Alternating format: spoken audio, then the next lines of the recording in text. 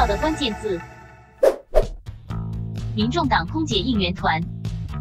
总统大选倒数一百五十七天，各阵营竞选活动还在跑，有位总统候选人却一直被舆论追着跑。民众党主席柯文哲四天前举办北区姐妹台湾选择之友成立大会，当中却出现空姐应援团，穿着短版上衣和窄裙大跳热舞，还被发现在网购平台上有类似服装被以空姐情趣服贩售。这次不止绿营送上女权一条龙全餐，真实主空服员职业工会也被惹怒参战，宣称是要撕除丑女的标签。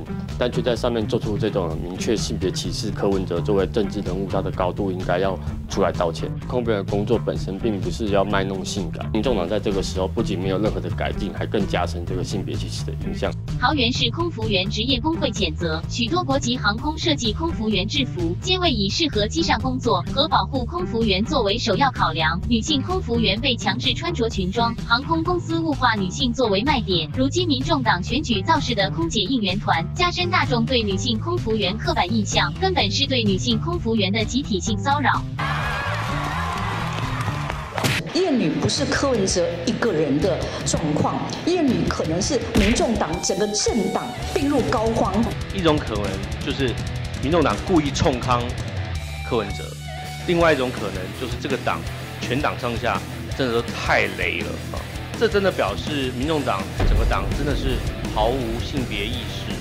一个官员在办公室搞婚外情、劈腿和性骚吃案连环爆的政党，彪骂另一党厌女丑女，这就是我在这场选举最想看到的魔幻舞台。当时舞团声明回应，他们只是一群热爱跳舞的女生团体，没有任何物化女性的想法，希望有心人士不要把他们政治标签化。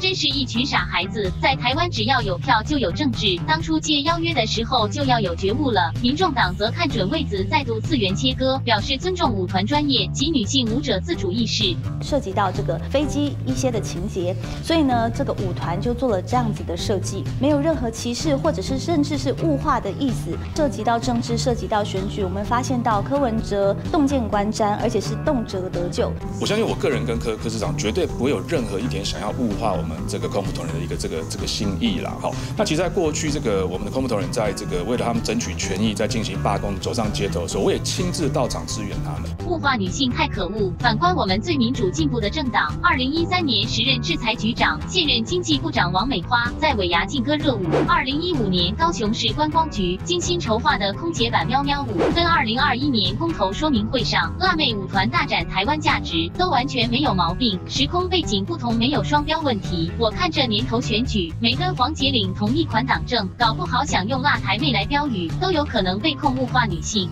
笑出鼻涕来。成都市大运。老俄特搜第一千一百三十二集报道，第三十一届世界大学运动会七月二十八在中国四川成都登场，为期两个礼拜的精彩赛事在昨晚圆满落幕。本届台湾健儿共取得十金十七银十九铜的佳绩，在奖牌榜上位居世界第八，超越二零一九年拿坡里市大运的成绩，缔造境外参赛的最佳纪录。那我们这次可以拿到十金，表示我们的选手真的是很将士用命。十八年前电影中的小男孩，台湾鞍马王子李志凯，如今已在现实中完美落地。生涯世大运最终战以难度六点五，总分十五点五零零成功摘金，顺利完成世大运鞍马三连霸。在做动作的当下，就是享受每一个时刻，去把动作一个一个做好。看到分数出来的时候，我觉得我值得了。我在这场世大运没有留下任何遗憾。曾在东京奥运拿下铜牌，台湾跆拳道女将罗嘉玲，在本届世大运名列头号种子，从十六强一路过关斩将，连克泰伊朗和中国好手，最终却在金牌战以零比二落败给南韩选手金允珍夺银。毕竟就是没有达到预期的目标嘛，没有办法完成大家希望的目标，然后自己设定目标，当然一定会难过。就是希望下次可以表现更好。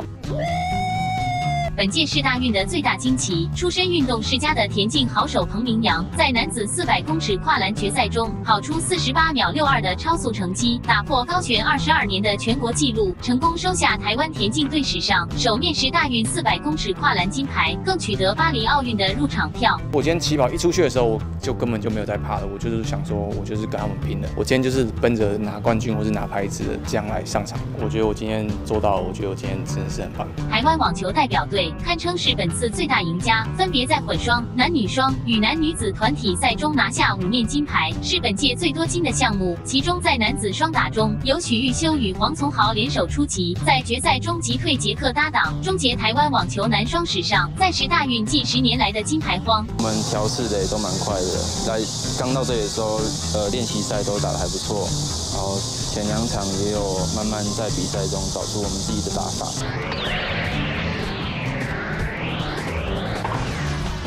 除了以上提到的台湾之光，中华队在射箭、游泳、羽球和武术等项目也都成绩斐然，还有许多选手仍在默默耕耘，值得大家给予支持与肯定。祝福所有选手生涯健康长久，继续挑战属于自己的传奇篇章。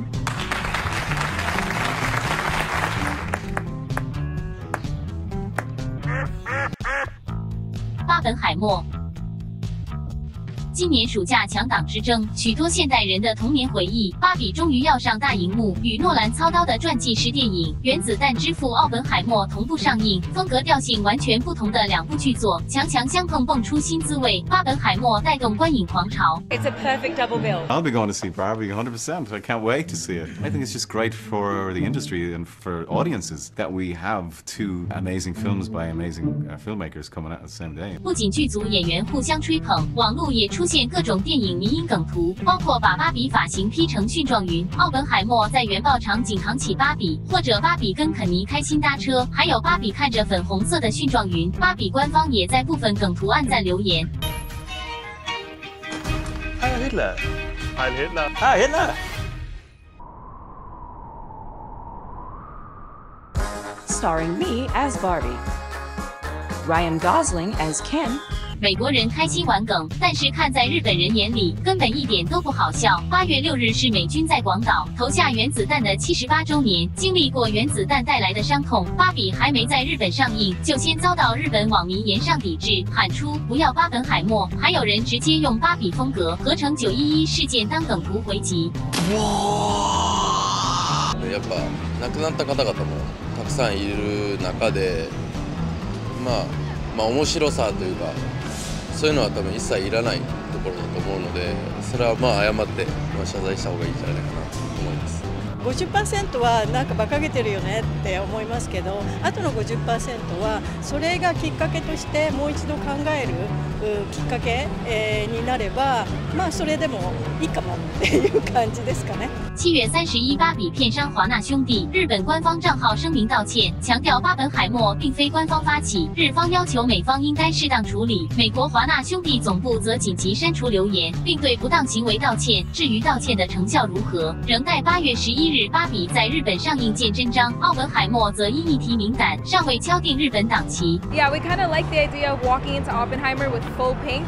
So it's the Bar- It's a look. Barbenheimer experience. We've got the 10 o'clock-ish screening for, for Barbie, and then we're out of the cinema, we're gonna go take a quick break, and then we're gonna go right to the front row, we're gonna watch Oppenheimer, you know, right up there, right as right as the atomic bombs explode in front of our eyes. It's, it's gonna be amazing. 巴本海默全球票房表现亮眼，截至上映第三周，芭比突破十亿美元，写下女性单独执导的票房纪录。奥本海默则在全球突破五点五亿美元，是诺兰生涯票房第五高的电影，也是影史票房最高的二战电影。你各位都看过了吗？快到下方留言分享吴雷心得吧。 They're canning all over each other. 快追踪订阅老天鹅娱乐，随时掌握最新动态。